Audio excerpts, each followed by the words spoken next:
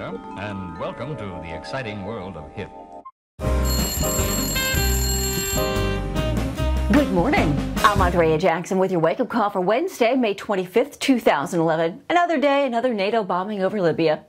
Volcanic ash from Iceland has shut down the airport in Berlin, delaying more flights across Europe. Harold Camping, the kook who claimed the world was coming to an end May 21st, says he got his months mixed up. He meant October 21st. Eight are dead in Oklahoma, Kansas, and Arkansas after tornadoes hit on Tuesday. 122 dead and 750 hurt from the Joplin, Missouri tornado. The National Weather Service calling it an F5 with 200 mile per hour winds.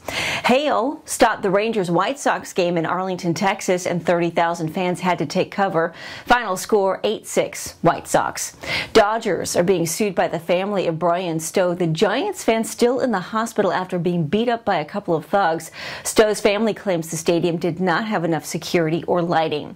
Former Senator John Edwards will be indicted for using campaign funds to cover up an affair and a love child while running for the presidency.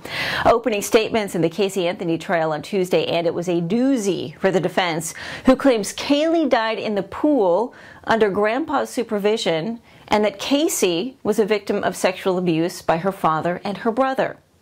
Hines Ward is the big winner on Dancing with the Stars. And The Hangover 2 will open as scheduled despite a lawsuit from Mike Tyson's tattoo artist claiming the tribal tat the movie used on Ed Helms was used without his permission and now the inkster wants 30 million bucks. Go figure. The movie will open, but the case will continue. Further discussion about the possibility of copyright infringement will keep it going. Here is your national weather forecast. Severe weather across the mid Atlantic. More tornado weather for the south from Texas to Tennessee. Same goes for the Midwest from Missouri to the Great Lakes. Those folks can't catch a break. And scattered rain from San Fran to Seattle. That's your Wednesday morning wake up call. I'm Andrea Jackson. I'll ring you in the morning.